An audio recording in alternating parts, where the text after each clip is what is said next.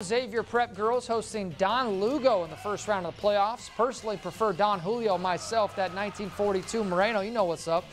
This was all Lady Saints all the time, not really a contest at all. And Xavier, they got some freshmen that can flat out hoop. Deja Saldivar and Amori Farrell.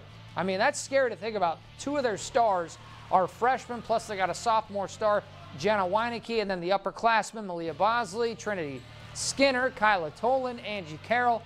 Saints got a squad. Xavier, they roll 62 to 18. I think it was 22 to 2 at one point when I was there checking this one out. Saints march on to the next round, which is going to be at home on Saturday.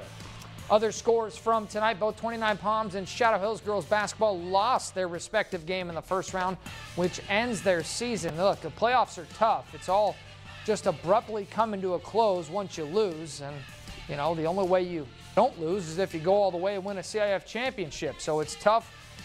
And we wish our teams the best, but, you know, just sometimes comes to an end. Xavier Prep boys volleyball, though, they have a chance to win a CIF championship. The Saints' historic season going to continue after a 3-0 win at Murrieta Mesa. Xavier's going to be home Saturday along with the girls' basketball team. So it'll be a special Saints Saturday over there on Cook Street at Xavier Prep.